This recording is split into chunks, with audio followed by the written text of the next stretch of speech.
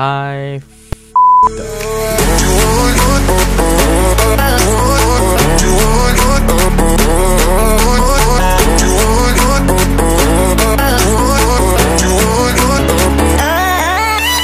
So last week I filmed a property in Westchester, New York. Trying to add to my real estate portfolio, a couple that I know allowed me to film their home. And let me tell you, this house is gorgeous. They've been working on it for as long as I've known them, and I even helped demolish some of their bathrooms. On this day, the sun was not to be seen at all. It was raining and the overcast was so thick, it looked like the sun set at 2 p.m. To compensate for this, I installed Technicolor's CineStyle picture profile on my cameras. This picture profile is supposed to give me a lot more dynamic range, so that way details in the shadows and highlights are a lot better than what a standard picture profile can give me. And to be honest, it looked like I was properly focused and exposed, but on a 3 inch display, almost anything will look amazing. I come back home to edit the footage and I found some very disgusting noise and grain on all the shots.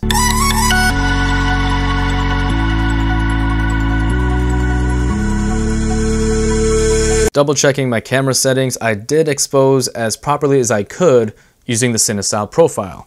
So I did some research and I just concluded that my camera does not perform well in low light. And the effect of that is going to be high noise and grain in the footage. And it's okay if what you want is a breakup. All I really care is that you're here when I wake up. Would you but that's going to be the case with low budget gear. It really got me thinking, how can I fix the quality of my videos? The obvious answer is to buy a camera that performs well in low light and shoots in log format so I get that dynamic range. But those cameras cost upwards of a thousand bucks minimum and I really don't feel like dropping a grand just so my footage has less noise. I looked some stuff up and there's a plugin for Premiere Pro that reduces noise. It's called Neat Video and it's very powerful at reducing noise. It costs about 100 bucks. That comes with the license to use it commercially. Now to most people, paying 100 bucks for a plugin may sound ridiculous, but if it saves me from having to buy a $1,000 camera body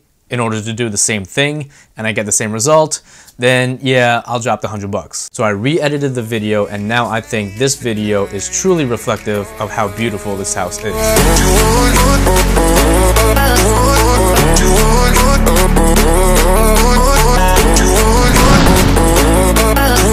So I guess the lesson of the story is to not always throw money at your problem to get the most expensive gear, so that way your video production goes up, but to come up with creative solutions to get the same end result without breaking the bank. This is Kevin Mendoza. Thanks for watching. and I'll see you guys next week. Peace.